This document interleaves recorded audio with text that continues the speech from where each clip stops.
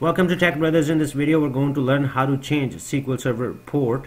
And in this demo, we'll be learning how to configure SQL Server static port and how to configure SQL Server to listen to a particular dynamic port. Uh, keep in mind that uh, if dynamic port is defined zero in SQL Server um, uh, configuration manager, then it, SQL Server have a tendency to pick any dynamic port for it to use. But maybe we don't want it to happen. We can define our own dynamic port in case if we want SQL Server to use a particular dynamic port to listen to.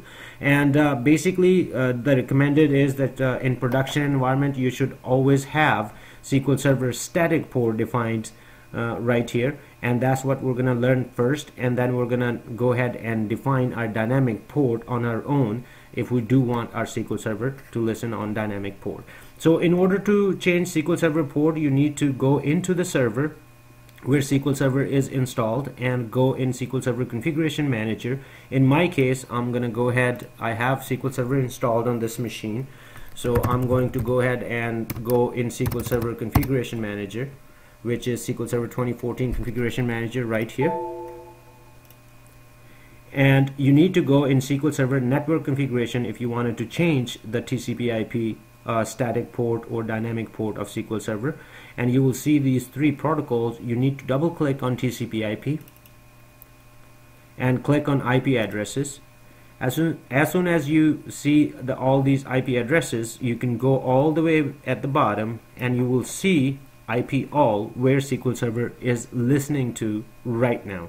So right now it's listening on uh, TCP IP dynamic port 628 19 and right here is the static port that if we wanted to configure to SQL Server static port what we would do is we will delete this entry and put a static port here. But let's go ahead and do the static port first and then we will play with the dynamic ports.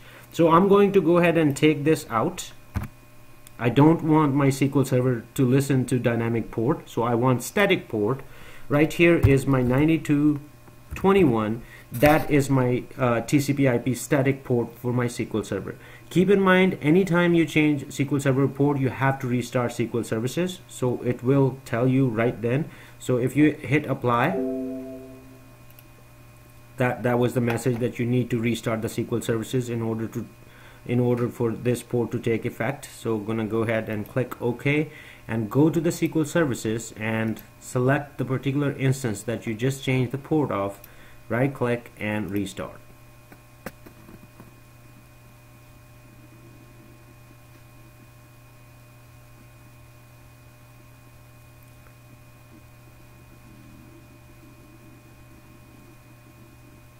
Alright, let's go ahead and take a look one more time that what is our port. 9221 so let's use this port to connect to SQL Server. We can use IP address and port to connect to SQL Server using SQL Server Management Studio. So what we're going to do is this is my IP address right here and I'm going to go ahead and put the port number and that is with right here comma port number IP address comma port number. This is how you connect with SQL Server uh, using port number and IP address. So let's go ahead and connect and we are connected using this port right here 9221 now we have made sure that SQL Server is using static port which is 9221 and not using dynamic port.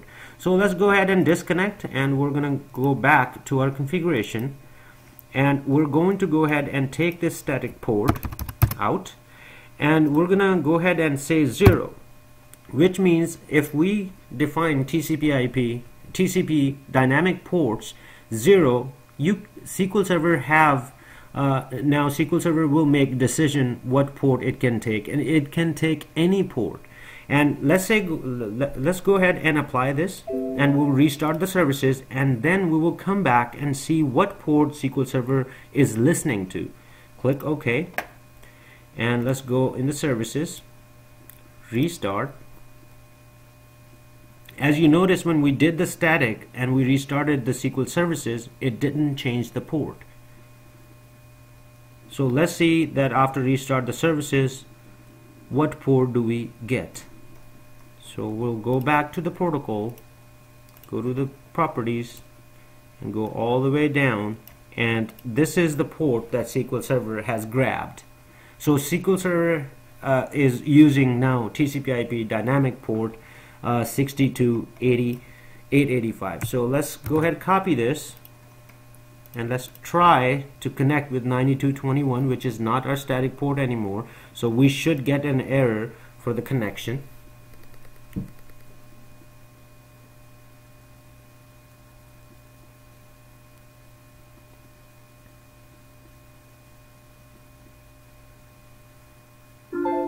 alright we got error so we're going to go ahead and use what SQL Server is using at this moment.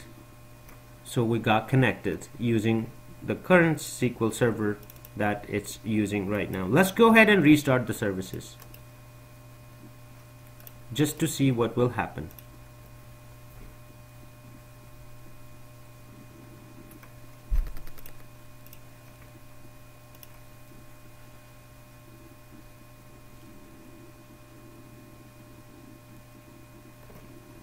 let's go back to our TCP IP go all the way down. It's using 62885 that we had.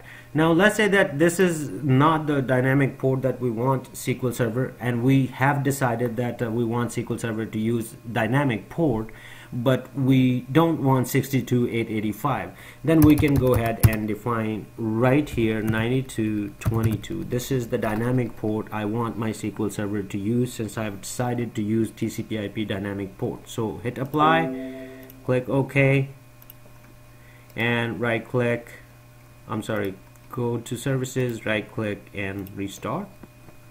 And we should be able to use that port to connect to SQL Server.